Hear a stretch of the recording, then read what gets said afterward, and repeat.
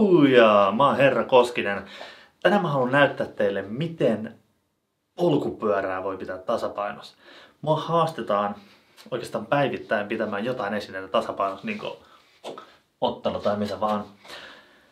Ja nyt mä saan haasteen silloin, että vois mä pitää polkupyörää. Ja kyllä, mä pystyn pitämään polkupyörää. Mutta mä sain myös älyttömästi kommentteja sen jälkeen, kun mä tein sen että tuo feikki, ei se on totta, sä huijaat, se on editoitu.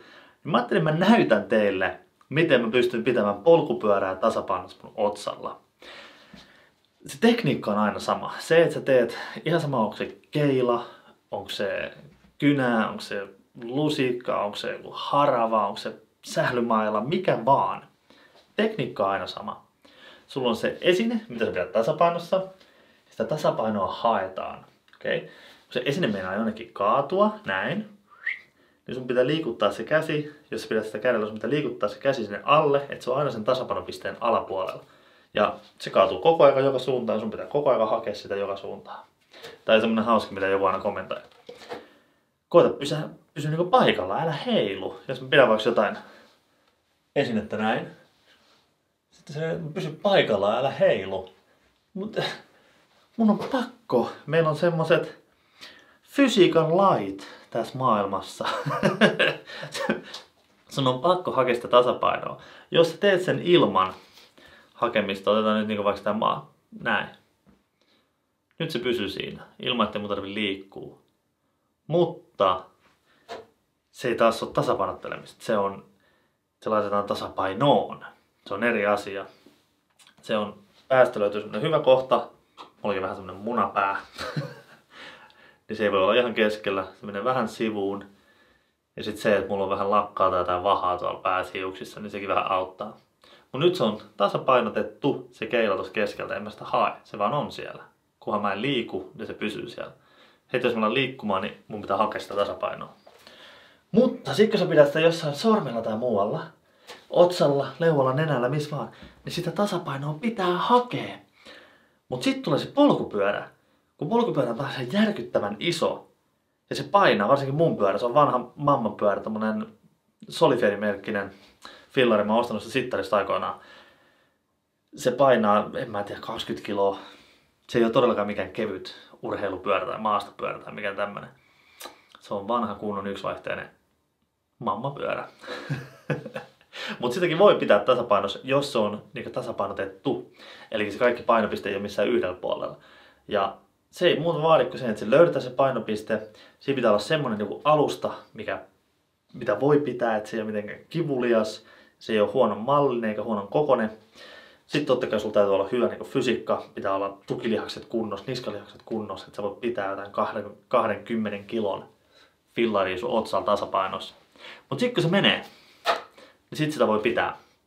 No mä näytän teille nyt vaihe vaiheelta, miten mä sen teen, jos mä lähden pitämään niin polkupyörää mun otsan tasapainossa, niin se pitää tehdä silleen, ensin pitää katsoa se tasapainopiste, sitten se pitää löytää, sitten se pitää miettiä, miten sä saat sen nostettua sinne, ja sitten saako oikeasti sen pysymään. Mä oon yhden kerran tehnyt, mä tein sen videolle jo silloin, totta kai mä kuvasin sen heti, koska mä halusin, että jos se menee, niin mä teen sen vain yhden kerran, mutta se oli kyllä ihan äärimmäisen raskas niskalle, mutta tota, enköhän mä pysty se tekemään uudestaan. Mennään pihalle, niin mä näytän. Mä en saa täällä pyörää mahtumaan.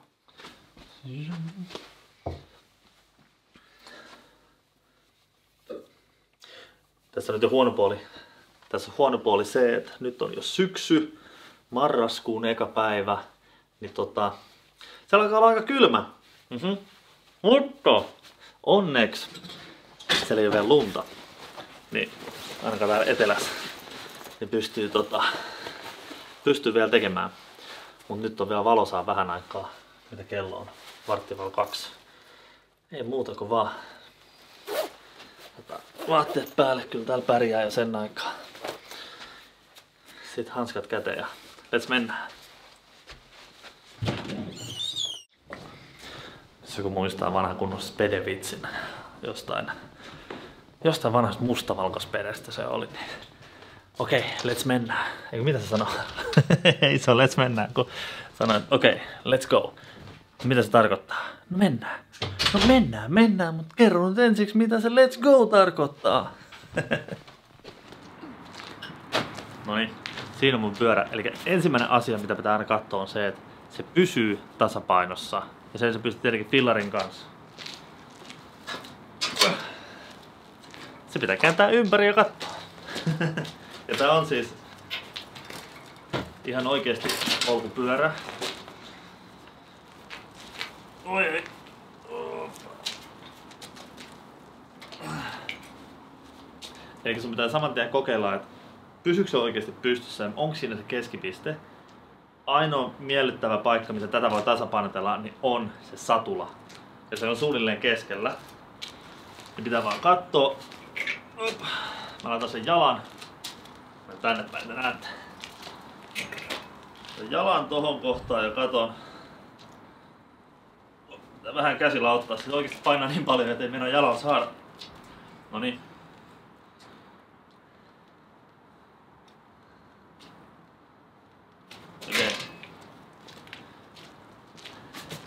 Eli sun pitää katsoa, että siinä on se tasapaino. Mä laitan sen mun jalan päälle, pidän vähän sitä painoa siinä. Okei, se ei lähde niin paljon keikkaamaan, joka tarkoittaa sitä, että siitä voi pitää sitä tasapainossa. Huono puoli on se, jos se satula on vino johonkin suuntaan, että se lähtee liukumaan pois. Ja sitä ei todellakaan halua, että se lähtee liukumaan, mikä tarkoittaa, että se koko fillari rämähtää sun naamalle. sitä ei kukaan halua. Mut joo, sit se pitää selvittää, miten se saadaan. Mä testasin sen jo kerran, niin kuin mä sanoin teille. Mä kuvasin siis videon mun TikTokkiin. Ja kannattaa ihmeessä käydä seuraa mun TikTokia, jos ette seuraa Herra Koskinen. Naapurit varmaan ihmettelee kohta mitä. Mutta tota, tehdään. Ää, ei muuta kuin se pitää hivuttaa pikkuhiljaa tuohon ottalle. Sitten pidetään niska kunnolla paikoillaan. Katsotaan kaikki tukilihakset hyvin. On muuten hyvä lämmitellä myös ennen mitä mä tein, mutta mä en vaan kuvannut sitä. Katsotaan.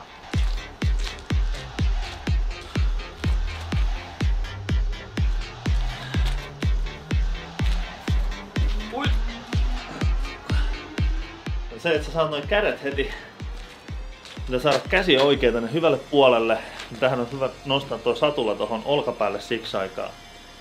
Ja sit se pitää nostaa sieltä nyt ottaa taas käsi vähän alemmas. Ja tää ei ole muuta sitten pelkkää voimaa. Sä voisit tehdä se silleen hup, tempauksella, mutta mä en taas luota, että mä saan ton satulan just oikein kohdan sinne. Niin tää on se, että tässä kohtaa on hyvä olla vähän voimaa että sä pystyt yhdellä kädellä nostamaan sen polkupyörän. Sitten etsitään asento.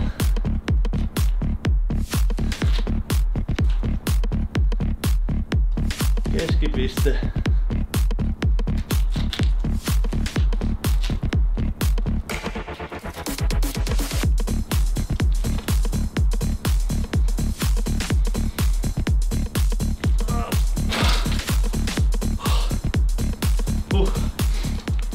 Täytyy sanoa, että se on todella inhottava, varsinkin tämän pyörän kanssa.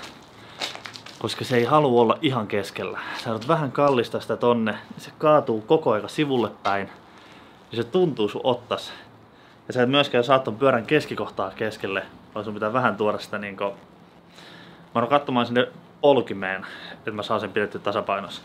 Mutta se ei todellakaan tunnu kivalta niskassa eikä missään. Sen tähden mä en tee tätä paljon. Totta kai vois harjoitella.